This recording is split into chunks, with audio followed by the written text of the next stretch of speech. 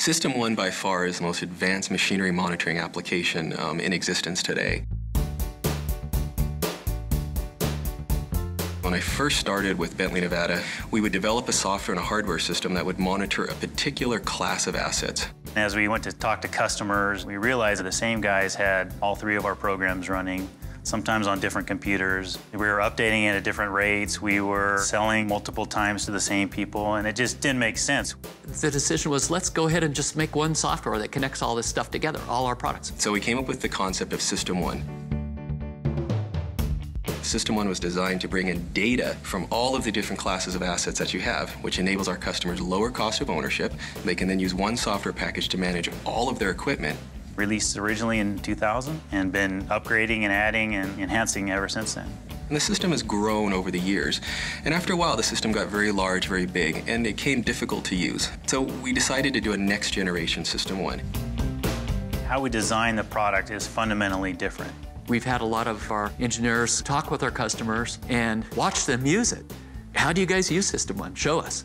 So our challenge is not to lose some of the capabilities and that deep domain knowledge that Bently Nevada brings, but to take that and take that to the next level. The new modular architecture of our next-gen System 1 is designed to enable us to plug in new technologies to an existing system rapidly and efficiently out in the field. So as a customer, you may purchase a particular module, say turbo machinery, and then a few months later you may wish to purchase another module such as reciprocating machines.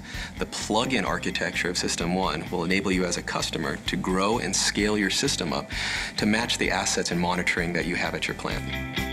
We've hired our own internal usability staff. You know, how it looks, the colors we use, how does that make it easier, more attractive to use? We want to make data and machinery management accessible to our customers no matter where they're at. So in addition to having a desktop or laptop application, we're looking at mobile applications, cell phone applications, tablet applications. A big part of being GE is not limited to just vibration diagnostics, which is Bently Nevada's niche. We can expand way beyond that. The holy grail of maintenance has always been, don't tell me that I've got something wrong, tell me it's going to go wrong. General Electric Measurement and Control. Each one of the businesses there makes measurements on critical parameters in the plant. And System 1 being the core of where that data is going to reside is uniquely positioned to provide actionable prognostic information. Smart plots, smart machine train diagrams, smart rules, smart performance. It allows them to monitor the condition of their plant assets, to be able to predict failures and schedule downtime to ultimately save them a lot of money. If you go down unexpectedly, you could be losing anywhere from tens of thousands of dollars to millions of dollars a day. The intention is to use these tools to help you avoid those unplanned outages.